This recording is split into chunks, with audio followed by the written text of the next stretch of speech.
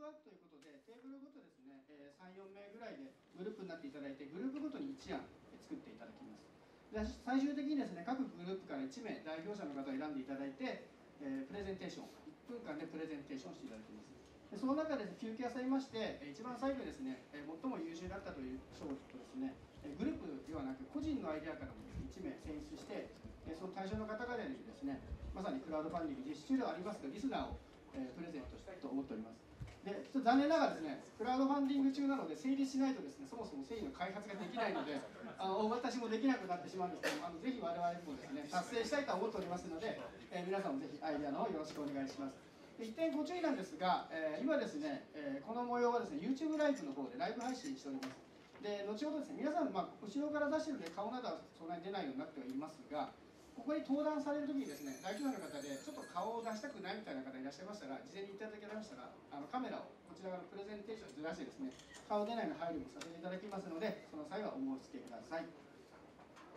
はい、それは早速ですが、まずですね、このリスナーのコンセプトについてですね、えこのリスナーを、え実際に手掛けているインターフェノムの共同設立者の江原さんからお話しいただきたいと思います。江原さん、よろしくお願いします。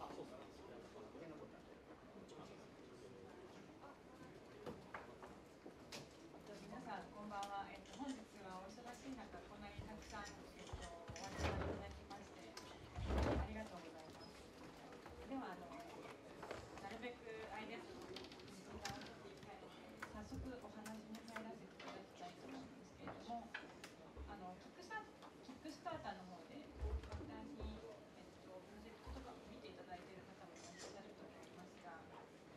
えー、リスナーっていうのは先ほども甲斐さんの方から説明していただきましたけれども、えー、メインビジュアルの方に「がついてると思うんですけどあれはまあどういうことを示しているかって言いますとあの、まあ、いわゆる本当に人間の第二の耳にしたいという思いを、え込めまして、えー、こういうビジュアルにしてもらったんですね。で割とそのいろんなソフトウェアとかハードウェアを使って人間の能力っていうのはこれまですごくいろいろ発達してきたと思うんですけどまだなんか音を使うとか聞くっていうことに関してはまだまだできることがあるんじゃないかというふうに、え考えましてこのデバイスに、えー、名前もできたこうスピーカーですね、えー、自分の代わりに聞いてくれる聞いてくれるパートナーみたいなことを、まあ、願って、えー、こういう名前を付けました。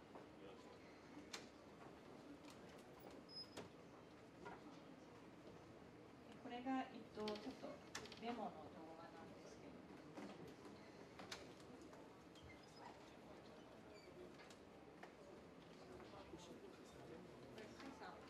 ど。はい、あクリック。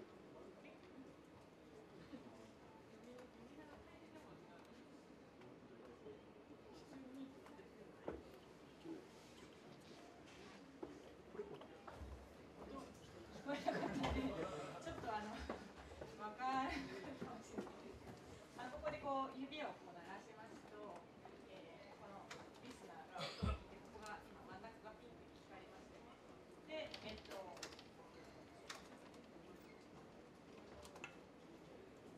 音が出ないんですけど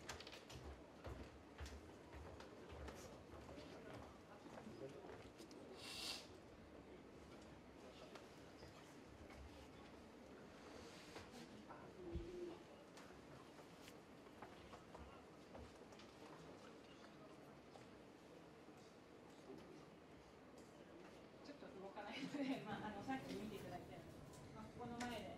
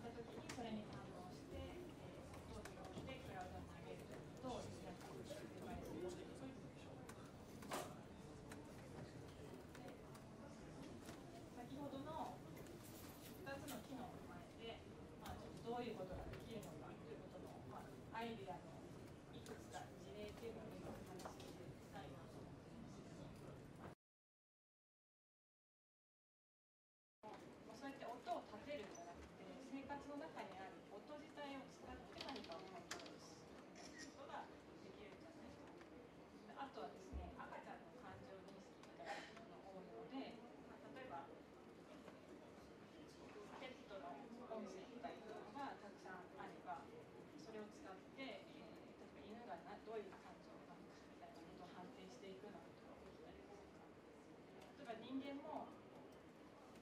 えー会話とか何を言っているかみたいなことを判定するんではなくて例えばこう音域みたいなことか周波数とかどういうムードであるのかみたいなことを判定できたりいやまああのまたちょっとなんかいろんな音楽を聴いてとかあらゆる身近な音っていうのを使って、えー何かにつなげていくっていうことができるので、まあ、その辺こうこれから詳しい説明を聞いていただいてアイデアを膨らませていただいて、まあ、こういう形で、えー未来を音を使ってサポートしていけるみたいなものをあの今日はアイデアを出すいろんなアイデアが出てくるっていうところを楽しみにしていますのでどうぞよろしくお願いします。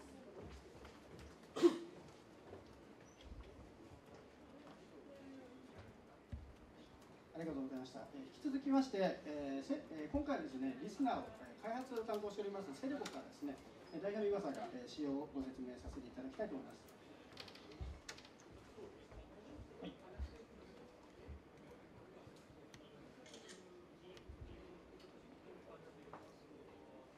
えー、っと株式会社セレブ代表岩佐俊之ですけどよろしくお願いします。すみません、わざわざ足元悪い中、取材にいらっしゃりありがとうございます。えー、っと、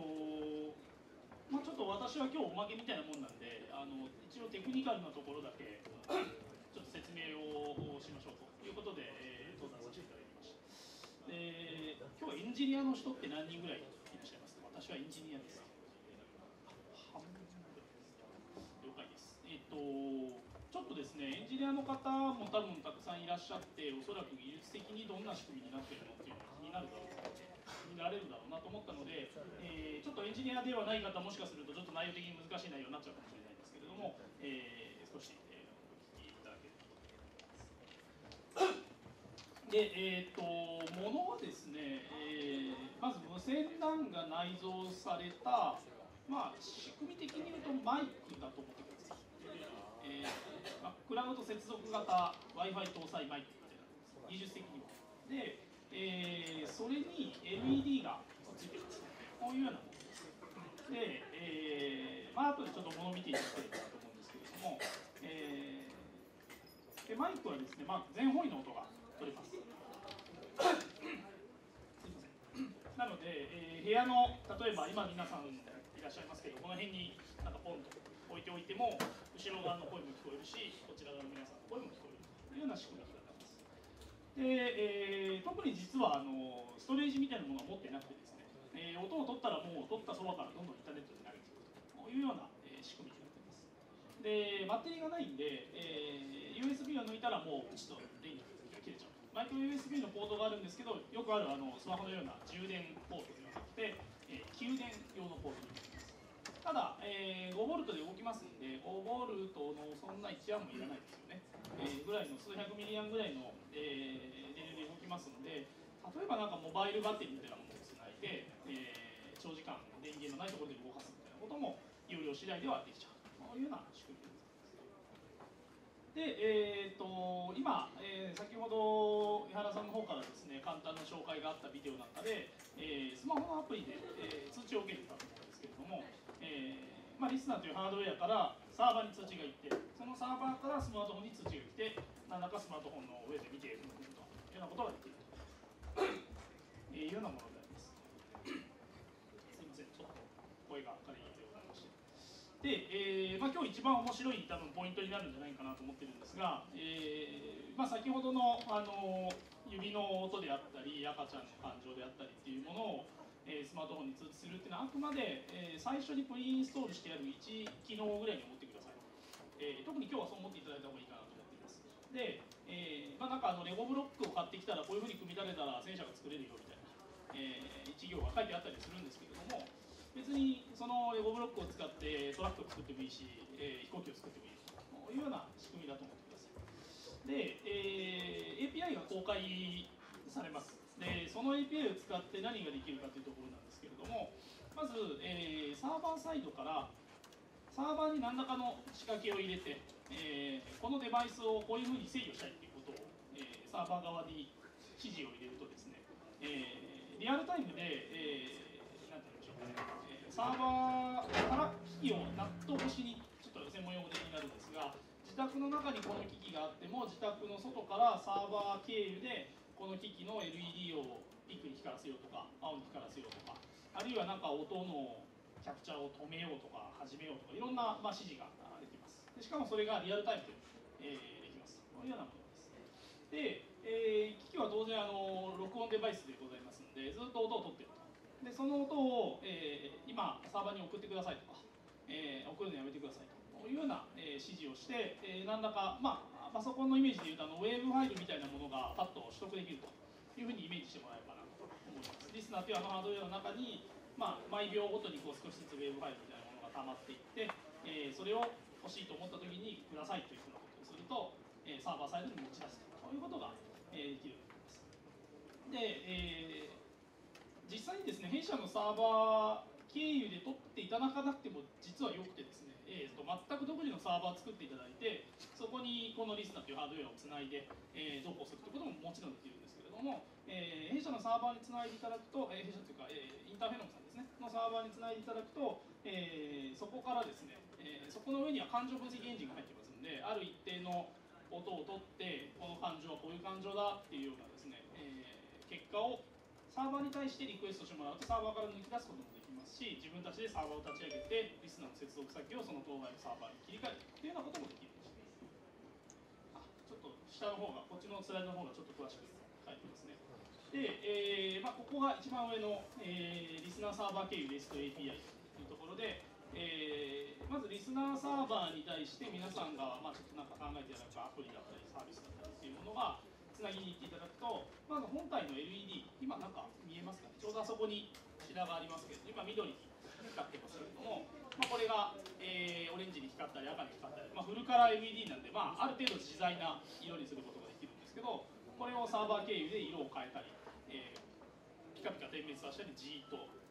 点灯させたりというようなことができるようになっています。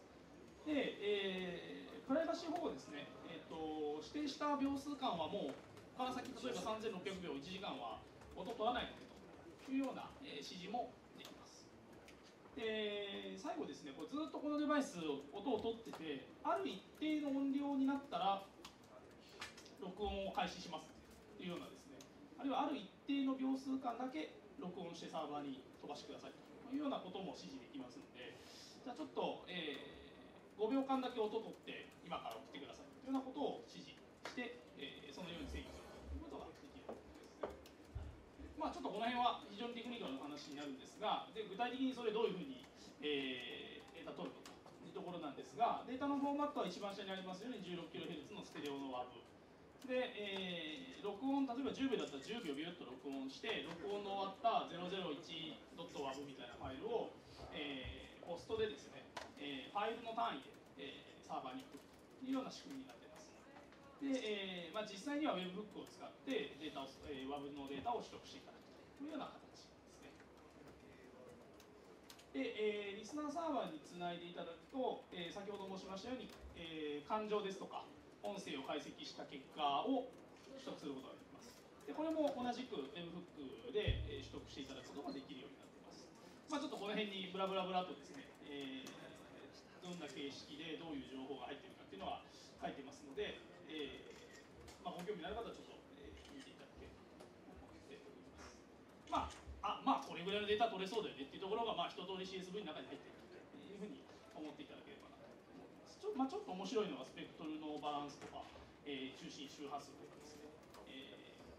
ーまあ、データをかなり細かく解析をしてその結果の数値を取り出していただくというようなことが、えーできるようになってます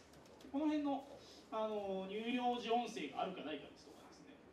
ママの音声が入ってるかどうかみたいなものはですね ちょっとまた一つ面白い、えー機能なので、まあ、ちょっと何かアイデアのきっかけになればと思ってます、えーこれもそうですね。あの面白いところはこのエンジンあのパナソニックさんの技術を用いて作られてるエンジンなんですけれどもあの普通に何て言ったらいいんでしょうね。あの皆さん多分あの OKGoogle、とかですね、えー、シリさんどうしてますかみたいな話でスマホに話しかける時って結構あの OKGoogle、先生とかあのシリさん向けの言葉を使うじゃないですか。こういうふうにハキハキとこういうふうに喋らないとシリさんは認証してくれないな認識してくれないなとかですね、えー、いろんな言い方が出てくると思うんですけれども結構普通に喋ってる普通に感情爆発させて赤ちゃんが泣いてるとかなんか騒いでるっていう何もこのマイクの存在意識してないっていう状態でなんか雑音がわじゃわじゃってなってるような通の普段の会話をしてるだけでもある程度こういう、えー、認識をしてくれるので、まあ、非常に面白いエンジンでございます。なんで、えーと、頭のこの辺になんかマイクのところに行ってあの OK リスナーじゃないですけどなんか能動的にものすごくしっかりきっちり話しかけなきゃいけないっていうものではないので、えー、普通に例えばその周りで、えーまあ、例えばなんか私が泣いて認証されるのかどうかわからないですけれども、まあ、なんか女性がちょっと喋って赤ちゃんが泣いてるみたいなあのシチュエーションがあればですねその音を、まあ、乳幼児音声あり、まあ、まあ音声ありというようなですね、えー、結果をパッと返してくれるので結構面白いエンジンで、えーとまあ、ちょっとこの辺は、えー、細かいところなんですけれども本体リスナーのあちらにある本体はあくまで音を取ってサーバーに投げるだけなんでただのマイクプラス w i f i トランスミッターなのでこの本体の中で、えー、なんて言うんでしょう音声解析、えー、ということはいやさっきのママの音声があるかないかとかなんか赤ちゃんどんな反応してるんだろう誰かなんて発声をしたみたいなものは認識しませんただひたすらウェブファイルをボンボンちぎってやなきちぎってやなきサーバーこういうようなものですでこれがちょっと私がえー、さっきちょうどコメントした部分ですけれども音声解析エンジンを使わないということももちろん可能なので、えー、ちぎってや投げちぎってや投げひたすら例えばなんかボイスレコーダー的にですねなんか音を録音してはどっかに投げるとこういうようなことも、えー、非常に極悪なやつっていうなんか毎秒5秒ごとにどんどんどんどんこの辺の環境の音を取ってですねひたすらそれを全部なんかベースロックに投げちゃうみたいなですね。あのすごいあくどい感じですね。でももしかしたらなんかそれも使い方によっては面白い使い方ができると。いうようなことも、えー、仕組み的には可能になっております。なのでちょっとまあ簡単にまとめますと、えーまあ、基本的に音量何にもない時はデータを取らず送らずある一定の音量がなんかこうバンというような音が鳴ると、えー、録音を開始して、えー、数秒間ですね指定したような指定した秒数間データを取るとそのデータをサーバーにペケペケペケドットワブというような形で、えー、ウェブフックであのサーバーに対してポンとポストします。で、えー、サーバー側は音声解析した結果を CSV で、えー、出力していくというような仕組みでございます。ですので、まあ、下にちょっと簡単に、えー、例を挙げてますけれども、大きな音を認識して録音、まあ、例えば、なんかガラスをパリンって割られたその一瞬を取れるかどうかはさておきですね、なんか誰かが家の中に入ってきてドタバタドタバタと、本来、えー、ペットもいない私の家で私が家にいないときにこの音がするはずもないというような音を認識して録音みたいなことももちろん可能ですし、えー、ベビーモニター的な使い方ですね、えー、本来子供さん寝てるはずなのに、えー、あるいはペットがいないはず寝てるはずなのになんか突然起きて、えー、泣いてると。いうようなことを音を認識して、えー、そのトリガーで録音してデータにポスサーバーにポストしてそれを、まあ、スマホであったり PC であったりというので認識認識認証するということが可能です。で今ちょっとお話しましたけどもあのさっきの一定間期間の音声をバンバン録音してひたすらどっかに投げるというようなことももちろんで、えー、正直ここはさあどういうふうに使おうかなっていうのは我々も結構悩んでいるところでぜひ皆さんのアイデアをいただければなと思ってるんですが音声解析結果を取ってで何すんだっけみたいなところですね、えー、正直ちょっといろいろ書いてみたんですけれどもあんまりなんか子供の声とお母さんの声が同時に聞こえたら電気を消すみたいなのが違うなと思いながらですね、えー、ただ組み合わせは結構無限大なのでいろんなことができるんじゃないかなというふうにはまあ、ざっくりですね、えー、こんな技術仕様のハードウェアになってますので、えー、ぜひ皆さんですね、面白いアイデアを、えー、いただけると、僕我々としても、これは面白いというものをぜひ前向きに組み込んでいきたいと思っています。こんなところですかね。はい。はい、ありがとうございました。よろしくお願いします。引き続きましてですね、あの今ご説明ありました、えー音声解析ですね、パナソニックさんの技術について、えーパナソニックの飯田さんから話をいただきたいと思います。はい、今ちょっと画面切り替えてるんで、はい、はい、じゃあマイク。はじめまして、えーパナソニックの皆です。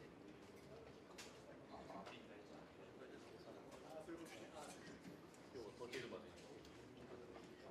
じめまして、えーパナソニックの皆です。えーと今回セレブさんと三原さんとあの協力させてもらって今回それでちょっと,、えー、と技術仕様っていう話だったんですけど、まあ、あまりあの泣きのアルゴリズムはこうしてこうしてこうやって判定しますみたいなのを言うとちょっと会社に怒られちゃうので あの今日はそこはあの勘弁いただいてですねあのまあひろこさん小江原さんと、まあ、こう協力関係になっていうのを簡単に少し説明させてもらおうかと思っています。えっとですね、もともとこのネタは、えっとパナソニック内で、えーまあ、10%のコースを使ってなんか面白いことやってみろみたいな Google 的な Google さん的なやつがあったんですねそこで、まあ、私がちょっと提案した内容でして、まあ、今から1年ぐらい1年半ぐらい前ですね提案した内容でして、まあ、その頃ちょうど子供がですねあの6ヶ月ぐらいでで仕事が忙しくてなかなかあの声が聞けないという状態が続いたので、まあ、こういうの欲しいなというのであの初めて提案した内容です。で、まあ、ベイビーブレスという名前を付けて、作りました。そのコンセプトとしてはこう離れて子供とのつながり、絆を感じられるという、まあ、自分が欲しいから作ったというようなものでして、で特に、まあ、あの既存コミュニケーションツール、メールとか使えない子供たちに向かってですね、えー、と新しいコミュニケーションがこう提供できないかなというので、えー始めたサービスになります。下に書いたのは今完成形の絵になってるんですけど、えっと実際のところはですね、えっとまあ岩須さんのところにはじめ アイデアをですね持ち込んで、まあ音使いたいですと、で子供の笑ってるとか泣いてるとかっていうのを判定したいです。まあこの辺の書いてある言葉をざっくりと要件にまとめてですね、まあこういうこと考えてるんで一緒にあのハードウェア作ってくれませんでしょうかというようなお願いをしながら、始めたという経緯。まあ、あのシステムとしましては先ほどあの岩瀬さんの方からもご説明ありましたけど、まあ、w i f i マイ Wi-Fi につながるマイクをですね家に置いてそこから周,、えー周囲数メートルぐらいの音を取ります。で、まあ、あのずっと取り続けるわけじゃなくて規定音量を超えてから10秒間のみ音を取ります、まあ、ここはあのこのニューヨルで音声で始めたからこそで出た仕様かなと個人的には思ってまして、まあ、あの実際のボイステキストあの言葉テキストにしたいような言葉だったら、まあ、話話してる内容の集団とかちゃんと認識しないといけないんですけど、まあ、そういうのを無視して、まあ、とりあえず規定音量が超えたら10秒間だけ取るみたいな、えっと仕様になりました。で、まあ、その10秒の音声を送ってですねそれでここの、えっとクラウドサーバーで動いている、えー判定部分が、えっと我々が、えー開発したところになりましてでここで今雑音か子どもの声かっていうのを選別してます。大体93%ぐらいの精度で動いてます。その後、えー泣きえー子供の声だったら泣き、笑い、まあ、おたけび、難語というこの4パターンですね。これに分けてます。これが大体今67%ぐらいの精度で動いてます。えっ、とまあちょっとあの精度に関してはいろいろあると思うんですが、まあ、どっちかというとエンターテインメント寄りな商品を初め目指してましたので、まあこのぐらいの精度でもえっ、と皆さん楽しんでいただけるんではないかなというので今まあちょっとまあ精度は上げつつあるんですが、この辺の精度のところで一回サービスにしてみようという状態になっています。でまあ実際にその、えー、と判定した結果が、えー通知されてですね、まあさりげないとか。すみません。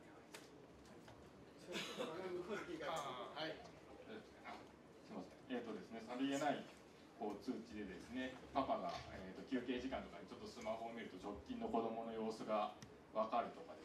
まああとは一日の一覧が見れて、昼頃めちゃめちゃ泣いてたなとか、えっ、と見てもらって、えー、とまあ奥さんとの会話につなげてもらうとかですね、あとは面白い声が取れたら、ちょっとスマホ上でコメントのやり取りを家族でするみたいな。その子供の声をきっかけにこう家族のコミュニケーションが開始されるっていうような、えー、とサービスデザインができないかなというイメージで、えーとこのサービスを、え作ってきました、えー以上になります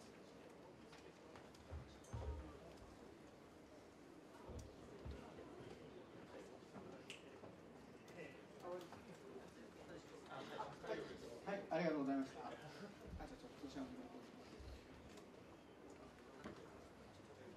はい、ええー、以上でですね、えー、3社からの説明が終わるんですけれども、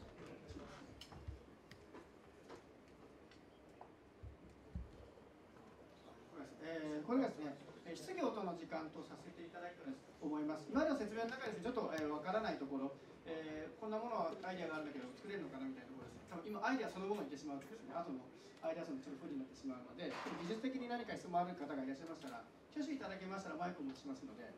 なんだかよろしいでしょうか？はい、じゃあちょっと先に方々から。えー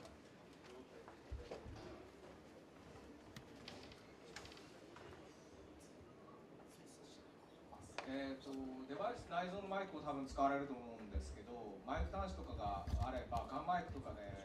えーと、ピンポイントで音が拾えるようになると思うんですけどその辺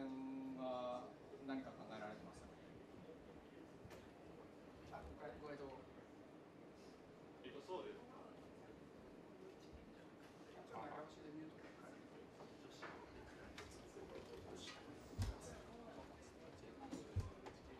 えっとですね、えー、指向性のマイクを使った方がいいんじゃないそういう方法もあるんじゃないかというご質問でよろしいですか、そうですね、はいえっとはい、考えていないわけではないんですが今あの宅内というその、まあ、どう動くかわからないような状況において置いた時にどういうマイクがいいのかなというところで、まあ、無指向の方がまず、えっと、その方向性を限らずにですねあの宅内の状況っていうのを取れるんじゃないかっていうので、えっと、無指向をまず入れてます。これでまあある程度そうですね、えー、こっちの音が取りたいとかこっち側の音はなんかいつもこうだっていうような解析ができるんであればひょっとしたらその指向性マイクっていうのを組み合わせていくことを今後考えていきたいなと思うんですけどまあそこはあの皆さんぜひアイデア出していただいてあの指向性もこういう場合だったらいるんじゃないかっていうのを教えていただけると、えー、空間で取れるマイクどっちの方向から音が来てるのかがマイクで取れると解析をしなくても、はい、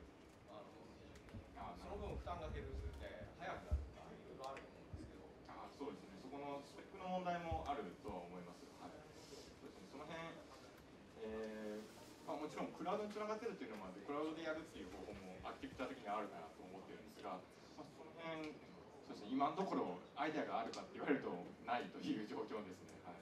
なのでぜひ皆さんあの例えばあのリスナー1個じゃなくて2個置いてですね何かできることとかっていうのも今日考えていただいたら面白いかなと思ってます。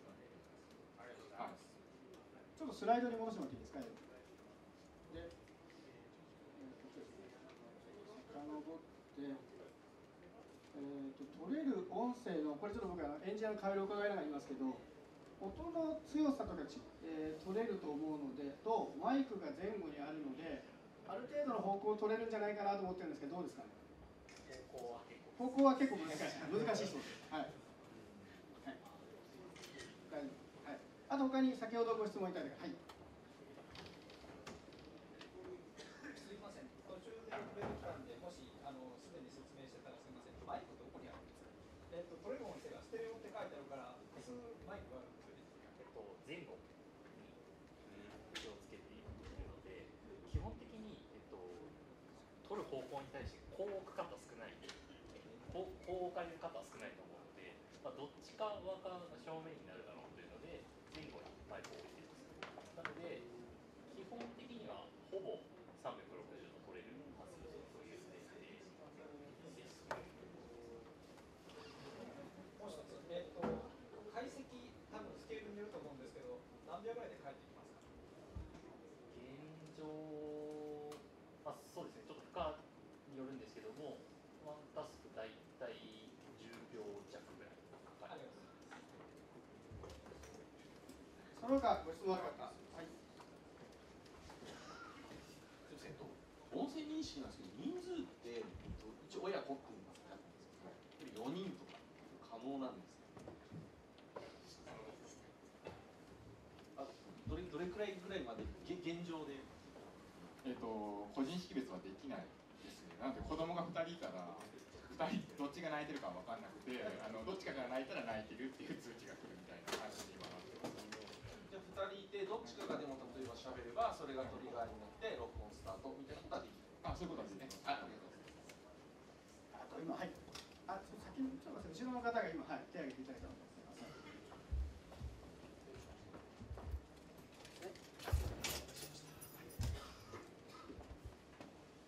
10秒ごとに取ってサーバーに投げるっていうのはそういう仕様なんです。これ短くは。さですか、えっとですねまあ長さに対してはあまり評価してないのでもっと長い方がいいのかもしれないですけど今10秒でも、えっと、先ほどの67%程度のこのカメラあんまり見ない。認識ができているというところです。じゃああの10秒取ってそれを投げて解析に10秒かかるってことは最速で20秒かかるっていう考え方でいいですか？えっとそうですね。はい。現状そうなってます。あのまあ、用途としてその緊急性のあるところの用途ではないという認識なので、まあ、そこの秒数はあまり問題にならないかなと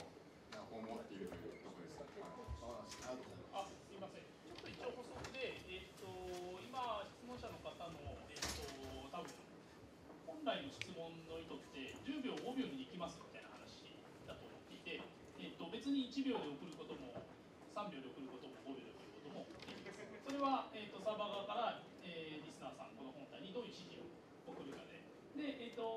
と今、えー、パナソニックの飯田さんのコメントはで1秒で送って、えー精度がどうなるかとか認識できるかとかそれは知らないよっていう 話なので、えー、とちょっとそこを分けていただいて、えー感情認識エンジンの適切な長さっていうのは10秒ぐらいっていう今話意図です感じですよね。で、えー感情認識エンジン例えば使わない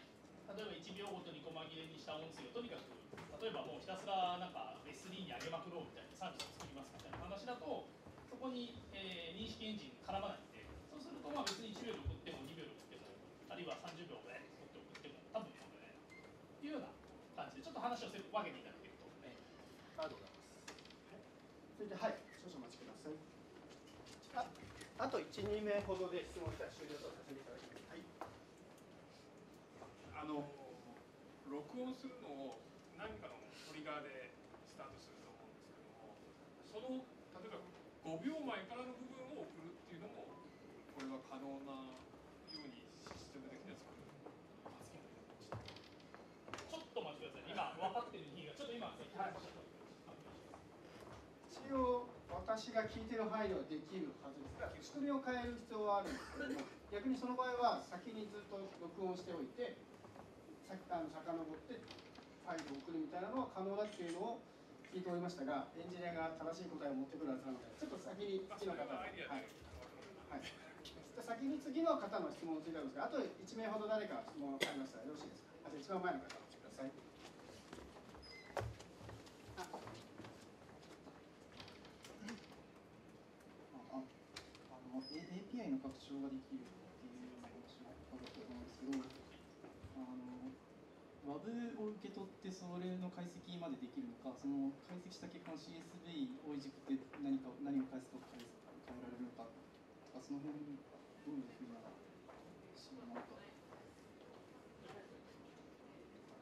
えっと、まあ、あと両両方できるというところですね。えっと、WAV を受け取って、まあ、解析しあの今回用意したのは名字の音声っていうところなん。で、それの解析結果のパラメーターが、あまあ、あの値が見えるっていうところと、まあ、そもそもその認識エンジンが使わないで、えっとまあ、取ってきた音をですね、自分自身でその生の音を WAV をいじるということもできるという状態ですね。ご質問の意図が合ってましたでしょうか。じゃあ先ほどの質問の回答を、はい、岩さんから。すごい玉虫色な回答で申し訳ないんですけどハードウェアの仕様的にはできるんですけどまだ今そこまでそういう作りにしていなくて、えーちょっとそれができるいわゆるリングバッファー上にこう録音してあることは録音してあるんで前の部分ちょっと何秒前を切り出して使うっていうようなことは API を切ればできるんですけど現状その API 用意してるかって用意してないんですが、まあ、今日はアイデアソンなので、えー、とそういうのがあったらこうしてみるみたいなのをぜひいただければよしじゃあ実装するかっていう話になると思うので、えーまあ、一応できるというふうに思っていただいてあの最終製品で必ず実装されるっていうふうな回答ではないんですけれども今日はそれができる前提でお考えいただければなと思います。で一旦ですね以上で質問を終了させていただきましていよいよ今回のメインではですねアイデアソン開始させていただきたいと思います。では今からですね皆様にワークシートをお配りします。でお一人様、えーお一人で考えていただく時間を20分用意しております。でその20分で考えた後に一旦その個人シートで回収させていただいてそのアイデアをもとにですね皆さんで、えー30分グループでアイデアを練っていただき最終的にグループの方から1人代表者を出していただいて1分間でプレゼンテーションしていただきます。でいただいたですね、えーシートはですね最終的にグループでいただいたものに関しては一旦スキャナーで読み込んでこちらに表しながら説明していただきますので読みやすい字でよろしくお願いいたします。